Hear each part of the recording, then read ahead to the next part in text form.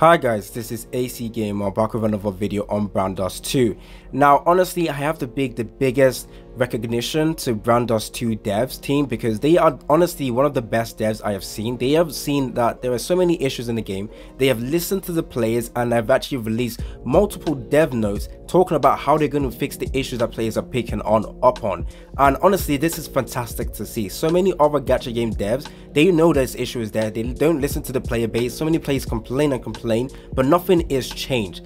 However, Brown Dust 2 have acknowledged all these issues and are finally doing something about it, and I have to give them big props for that. They are fixing the issue with 5-star characters being so bad in terms of usability that many people are not actually using them. They fixed the issues of grinding being absolutely annoying and tedious and monotonous. They fixed the issues of like packages in game being actually kind of bad and they fixed the issue of missions just taking way too long and I actually give them huge prop and uh, prep prep prop sorry honestly the best devs I have ever seen and I'm actually happy to continuously play this game and I hope they reach out to me you know for like future collaborations or something like that because I love this game. So yeah Brown Dust 2 came out with another dev note talking about some of the issues we have uh, you know pointed out and talking about fix they are going to be bringing out. Now I'm going to not read all of this though. I'm going to be skimming through it because I don't want this video to be too long and just basically me reading off the note. That would be extremely boring. So i'm just gonna you know summarize all the stuff you have actually mentioned in here. And uh, honestly big props big props. So if you guys don't want to miss out on future content on Brown Dust 2 make sure you are subscribed to the channel. Make sure that post notification is on. When the balancing is done to five star character i will be making new tier lists because currently tier lists are just basically the best characters are three stars and four stars. Now with the new buffs they're going to be bringing to the five star characters this is going to essentially uh, you know put five star characters as potential characters to use now. And tier lists will be need new tier lists will need to be made and uh, characters will need to be tested out to see how good they are. And honestly I am going to be there for that. So I'm going to be recording a video it's going to be helping out everyone. So make sure you are subscribed and make sure that post notification is on. And if you guys enjoyed this video help me out by liking this video and let's get right into it. Now basically they just acknowledged all the issues in the game. They talked about fatigue concept fatigue improvement performance in the early game for five star costumes and packages. Um, and they just basically said that many people have sent them uh, complaints or like opinion regarding the fatigue and issues and they have actually agreed with it over here and they realized that it's putting a burden on players that are enjoying Brown Dust 2 which on my days the the fact that they can acknowledge all of this issue is big props big props i'm looking at you um I don't want to say another game's name because I don't want I don't want to get um I don't want to get heated up. But yeah, I'm actually loving this right now. Um in addition, we're reviewing an adjustment of uh, basic 5-star characters. Basically, the buff they're going to be doing for 5-star character is giving them the early buffs that they were meant to get by getting multiple dupes, giving, the, giving those buffs to them at their standard and base form. And that is like the minus 1 SP requirement that is going to be given to the order base. So technically, all the 5-star characters will have the SP cost reduced by 1. And essentially, that should hopefully help them be more usable usable sorry so characters with like five cost uh, SP cost required will be going down to four. Characters with a free cost will go down to two. And honestly, it's just going to help Root out, which is the cat girl with uh, free cost for a skill. Now that will go to two and that is actually going to make her very very strong but um whatever anyways um so this is going to be the adjustment they're going to be doing to the event quest so today's quest weekly missions and season pass this is the changes they're going to be doing over here lucky for us they actually provided us with a table so we can see all the current issue well the current um, application and then the improvement they're going to be doing right now. So in terms of the daily missions, having to defeat enemies like three times has been reduced to one. Weekly missions, defeat enemies in the battle 15 times, which was insane. That was way too long. Has now been reduced to five times. And then the season pass, honestly the longest one though, completes today's quest 16 times has been changed to one huge shout out. This is amazing changes. Now mirror war ap which is basically the arena they have basically made sure that you don't have to log in every single time to mid max using your arena um, challenge um, coins or challenge resource.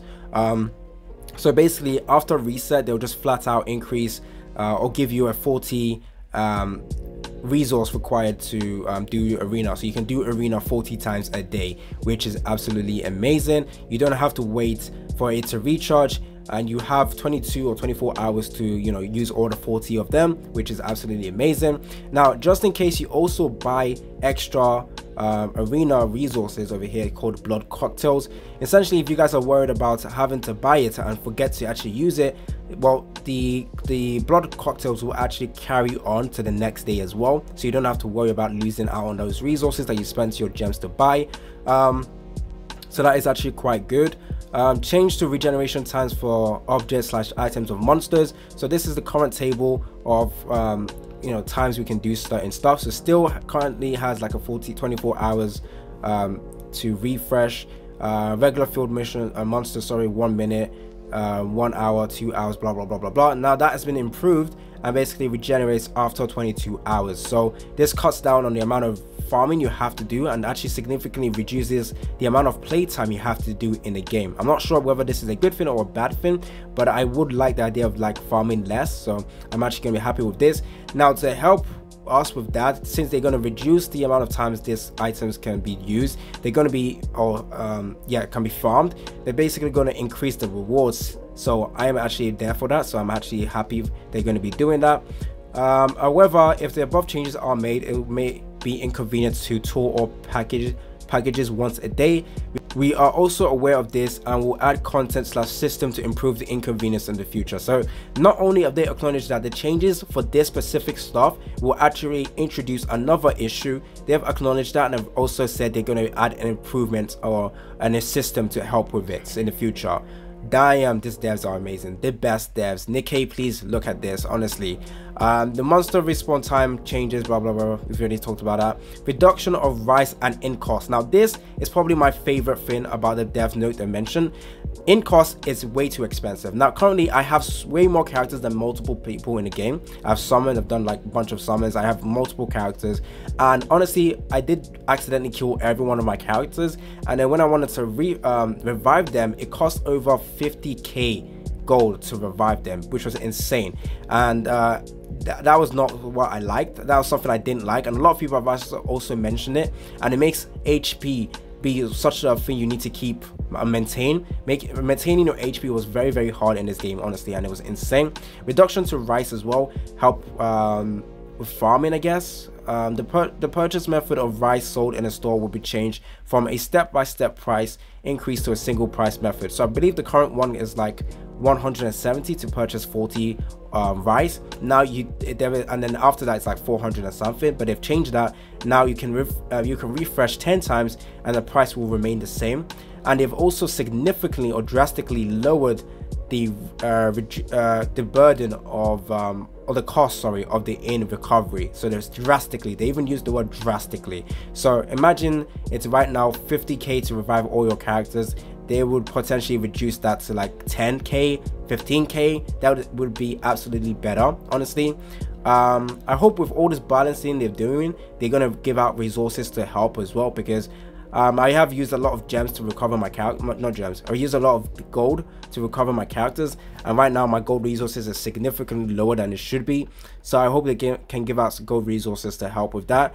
Um, anyways, 5 star character balance adjustment. Now I have one thing I might pick on this or pick nitpick on this is okay they're going to balance the five star characters but what if um, we've used all our five star scroll and we used it on characters before are going to be better than the other ones but now that they got balanced with the minus SP required and now the other characters we didn't pick because they were not good at that time actually become better what are they going to do to compensate players who don't have five star scrolls right now? Are they going to give out scrolls five star scrolls to help people select the five star characters that are now currently good or are just going to leave uh, are they going to leave it as that?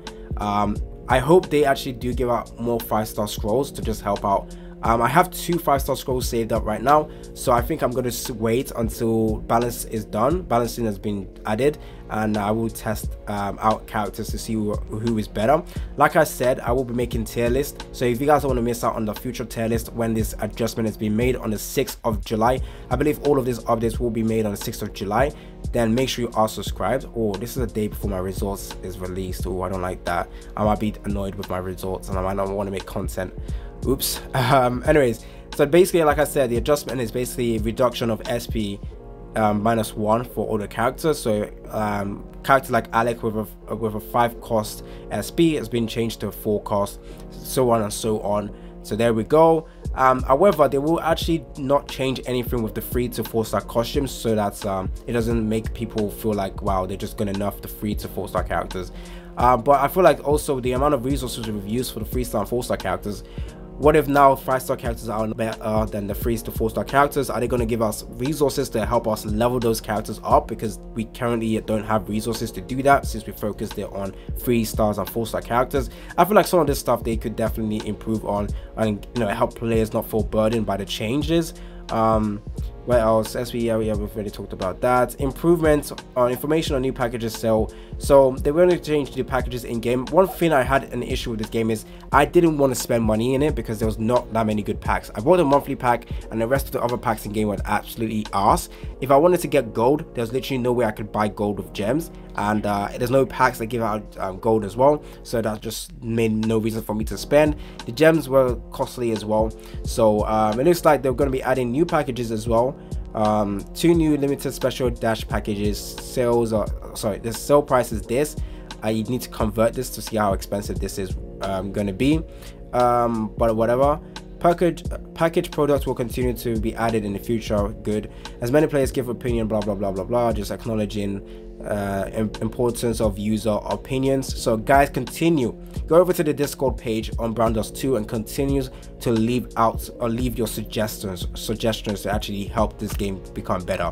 Suspension of sale of premium monthly pass products. So good. Um, the, the, the deactivation of sale products. Yeah, okay. I feel like they're gonna improve it. We continue to realize that we lacked in preparation in terms of product quality and convenience. Once again, we apologize to users who are looking forward to the game and had difficulty playing smoothly due to BM and other issues. Um, thanks to play um, and thank the play users who support the game. I support the game wholeheartedly. This is honestly the most fun game to be released in 2023. Screw you, um, Honkai Star Rail. it's just a basic uh, basic turn-based game but taking a look at Brown Dust 2 this game is solid. It makes me feel like a console game. It makes us feel like a console game. It reminds me of Pokemon for some reason. Um, we would like to update blah blah blah blah blah. Oh on the 6th um, on this July 6th the first new character pack Exodus will be added. This is the story of Gray the, the manager of blah blah blah blah blah uh, we'll continue to learn from our users and improve the game I would like to say thank you again to everyone who gives a lot of advice to the development of Brown Dust 2.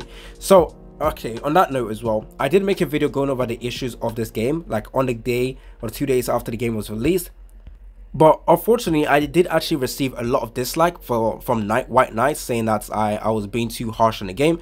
Well, look, even the devs have acknowledged that the game had issues. So to everyone who disliked that video, clearly shows that you guys have terrible opinions. Um, so I was right and you guys were wrong. That's all I had to say. My opinions are correct and you guys are wrong. So yeah, stay tuned for more content on Brown Dust 2 where my opinions are always correct and everyone else's is wrong. Okay, I'm just joking, guys. Don't start hating on the video. But anyways, stay tuned for more content on Brown Dust 2. It's been your boy AC Gamer. Don't forget to like and subscribe, and I'm out.